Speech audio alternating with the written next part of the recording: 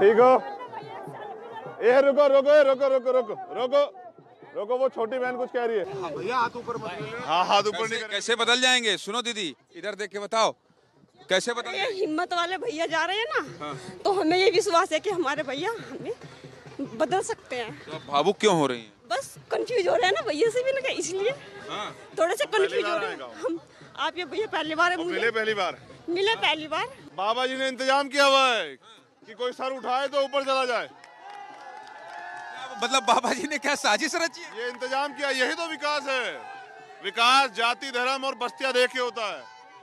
ये योगी ये योगी राजा जी किसमें जाति धर्म से बाहर नहीं आएँगे आप लोग केवल जाति की बात करते हैं। हमने- राजभर हो निषाद हो आप हो सब जाति जाति की बात।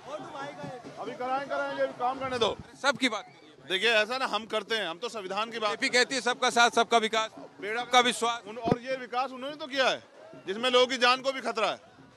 देखिए, ये बात समझनी पड़ेगी ना कि हम जातिवाद इसलिए करते हैं क्योंकि जातिवाद हमने नहीं फैलाया है। ना हमने बनाई है जातियाँ।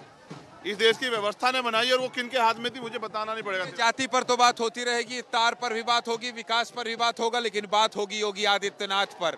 और योगी आदित्यनाथ पर वो सवाल पूछे जाएँगे चंद्रशेखर आज़ाद से, जो अब तक नहीं हुए।